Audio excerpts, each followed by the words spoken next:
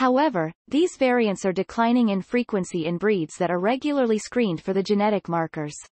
The results are publishing June 16 in the open access journal PLOS Genetics. They found that there was more genetic diversity in the non-pedigreed cat population than in the pedigreed cat population, and three disease-associated variants were found solely in non-pedigreed cats. They also identified 13 disease-associated variants in 47 breeds for which the disease had not previously been documented.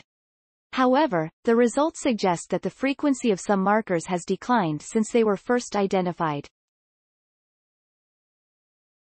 Markers for certain coat colors and patterns, such as color points in Siamese cats, were also responsible for the same trait in other breeds and the rarest color variant was the amber coat color found in Norwegian forest cats, which was also detected in one non-pedigreed cat. Genetic screening for known disease variants and the information on all breeds' genetic diversity can inform breeders' decisions, the authors say. In turn, these tools can also help to make well-balanced breeding plans that maintain genetic diversity and avoid breeding affected kittens.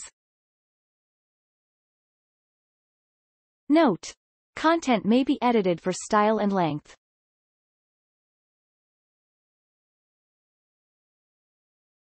Largest study of domestic cat DNA identifies disease-causing variants in new breeds. Many disease-linked variants are declining in frequency in breeds regularly screened for the marker. Science Daily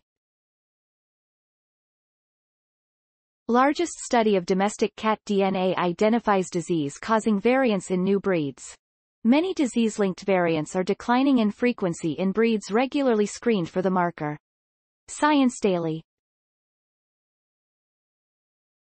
https colon slash slash ift TT, WEATJZX. Accessed June 16, 2022.